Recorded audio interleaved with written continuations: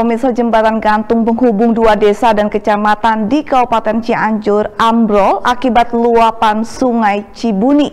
Akibatnya pemirsa akses warga pun terputus dan terpaksa mencari jalan lain yang jaraknya cukup jauh.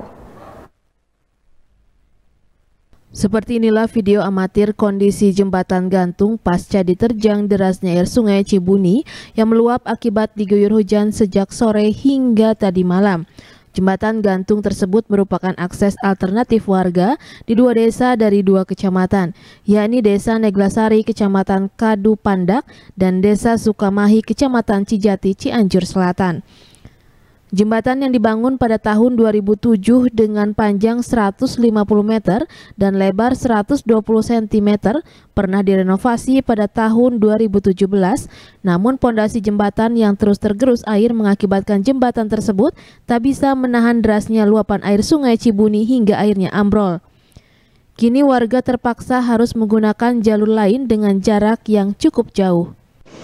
Bahwa jembatan gantung uh, yang menghubungkan akses antara dua desa yakni Kecamatan Tijati dan Kecamatan Kalupanak.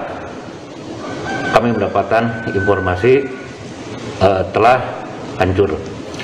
Untuk ini dampak yang ditimbulkan dari uh, hancurnya jembatan dimaksud otomatis warga masyarakat sekitar yang menjadi akses penghubung jalan untuk sementara tidak bisa digunakan.